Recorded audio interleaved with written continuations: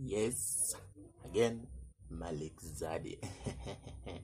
Okay, sasa hii ni ya wale maboy wanasemanga ati dem ni mtaro.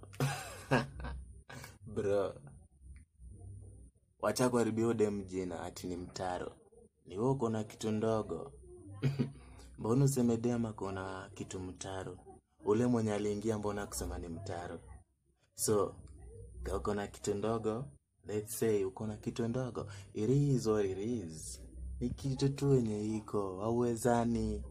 Hata ukazituria aje, hauwezani bro. Na wewe dem pia, uki usipeane kitu igongwe gongwe igongwe gongwe, alafu ufanye boy akam kama gift please. But for the men, mwache kusema mademo kuna kitu kubwa, ni kitu yako ni ndaga, tukubali tu